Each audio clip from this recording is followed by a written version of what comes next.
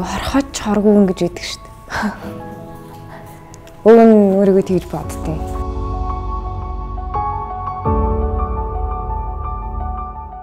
Намайг намин гэдэг лээжтэйгээ автагаа ихчтэйгээ охинтойгоо амьдардаг.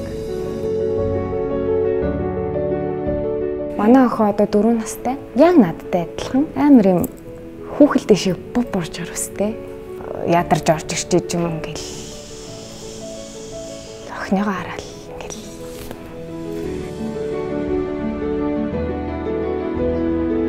би ч айгу жоохон тэгж авсан шүү дээ. Хамгийн түрүүнд ээжтэй лэл аны ээж үл амар тэмцсэн зүгээр. Амар гойсон тэгэл хайраар өсгсөн тийм л охин доо. Миний охин.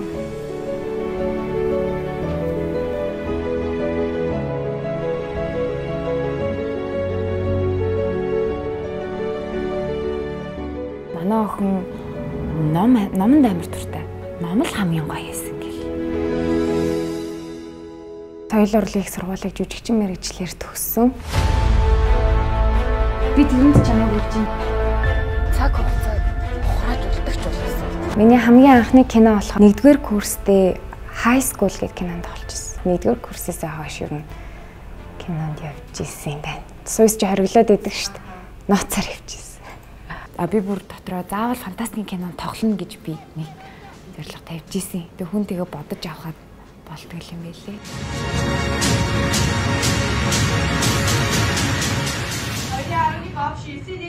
Тоочгийн солонгоо болохоор айгу тийм их найланхай гээл жоохон шалчгар дүрлэлтэй.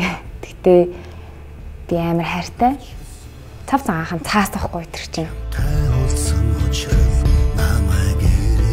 Дүршгээл гэж бодсон юм шиг үлээ.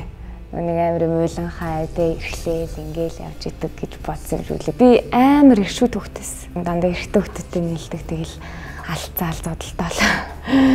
Чулан мулгаар байлтаал.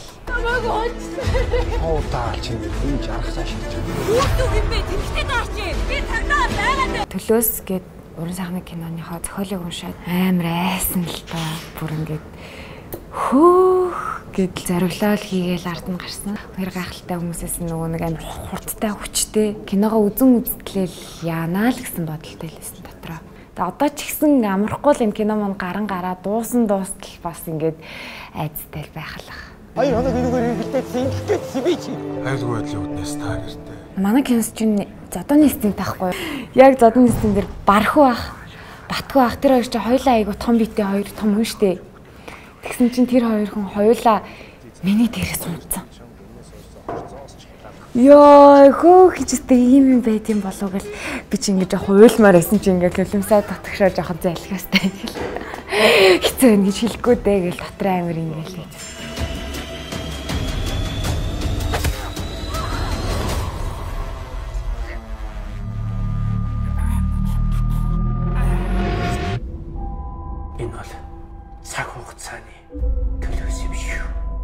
Аа, кино уран бүтээл гэж ийм байдгийм байна. Гүнд нь орвол ямар гайхалтай юм бэ те? Ямар хэцүү юм бэ? Хүмүүс нэг ийм уран бүтээлийг хийхийн тулд те яаж хөдөлмөрөө ингэж зарцуулж нойроолоо хасч ингэж байдгийм бэ?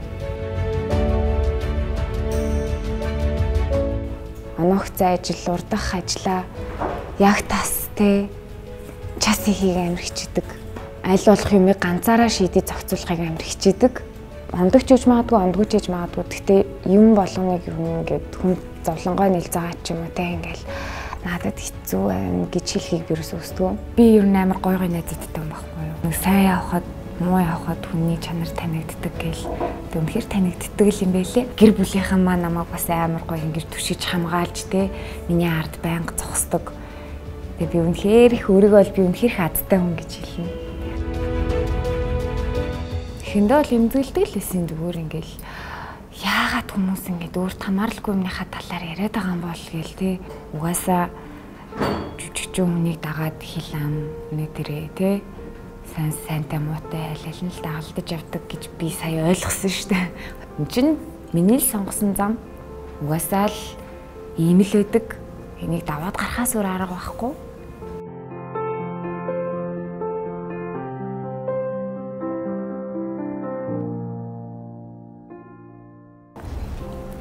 Ээжээсээ л уучлалтгүй та.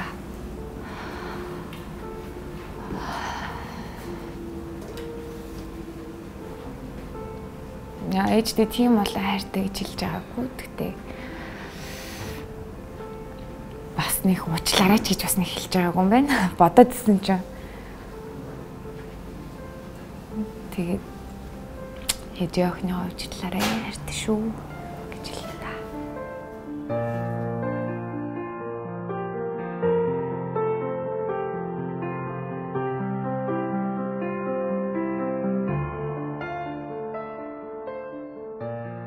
Манай ээж л миний арын албыг захиж үлддэг.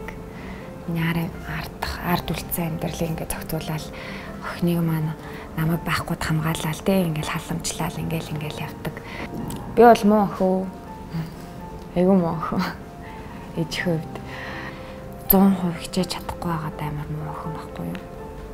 Тэгэл хай нэг ээжигээ гомдоон те өөрийн мэдлгүй гомдоо чинь